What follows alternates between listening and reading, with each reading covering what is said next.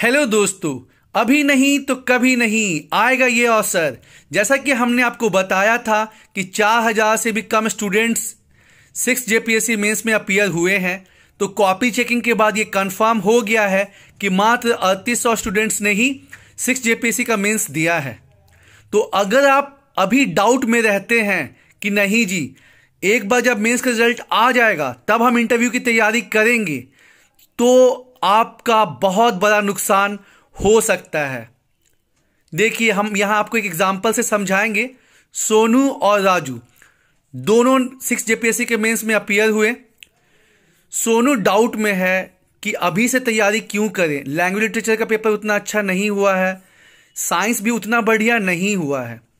तो इसलिए सोनू जो है, अभी वो इंटरव्यू की तैयारी नहीं चालू करता है, जबकि राजू सोचता है कि यार, मात्र अड़तीस सौ स्टूडेंट्स अपियर हुए हैं, जिनमें से एक हज़ार का सिलेक्शन होना है इंटरव्यू के लिए। और मेरा पेपर उतना अच्छा भी नहीं हुआ, लेकिन ठीक ठाक हुआ है।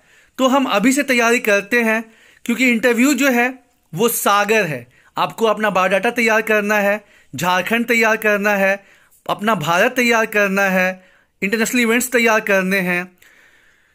फिर क्या होता है? कुछ दिनों के बाद मेंस का रिज़ल्ट आता है, जिसमें सोनू भी पास हो जाता है और राजू भी पास हो जाता है। एक बात हम आपको बताना चाहेंगे दोस्तों, ये पहली बार नया पैटर्न पे एग्ज़ाम हो रहा है। वो भी क्वेश्चन 40 40 मार्क्स का था, कुछ ऑब्जेक्टिव भी थे। तो कॉपी चेकिंग उतनी स्ट्रिक्ट नहीं हुई होगी, ठीक है? तो एकदम पॉजिटिव रहना है। खैर, वापस आते हैं यहाँ पे।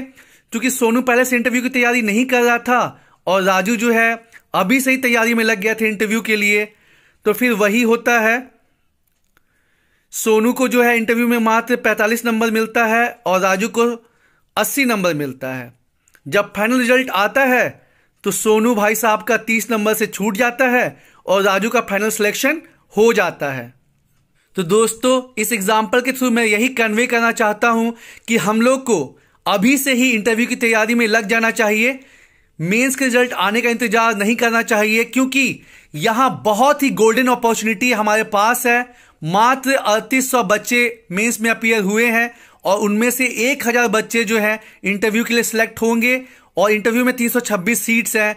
इंटरव्यू में जो 100 मार्क्स हैं, उसमें किसी को 45 भी मिलेगा तो किसी को 80 भी मिलेगा।